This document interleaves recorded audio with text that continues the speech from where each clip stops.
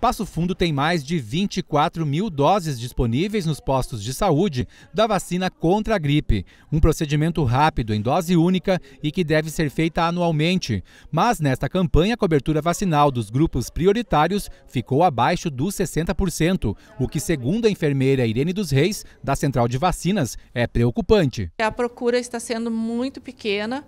O município está com uma cobertura muito baixa, e então a gente faz um apelo para que as pessoas, principalmente os grupos prioritários, procurem as salas de vacinas até sexta-feira. Crianças obrigatoriamente devem portar a carteira de vacinação e o cartão do SUS, porque também a gente vai estar olhando né, toda a situação vacinal da criança.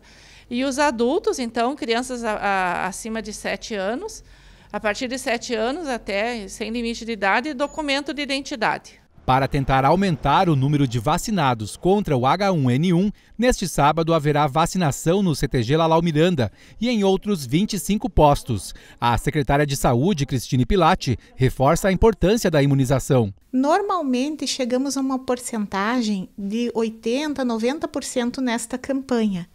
E esse ano, se somarmos todos os grupos, ainda não atingimos 60% em todos os grupos.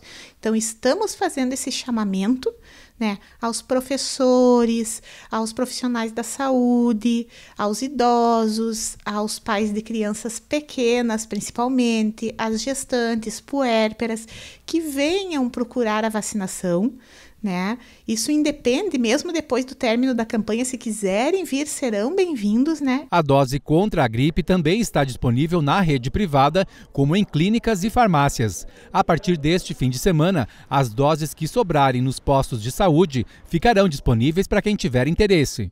Nós temos 25 salas de vacina e também no sábado vamos vacinar influenza no Lalau Miranda, né? Fazendo também um outro ponto né? Que a pessoa pode estacionar, subir lá, vacinar das 8 às 13.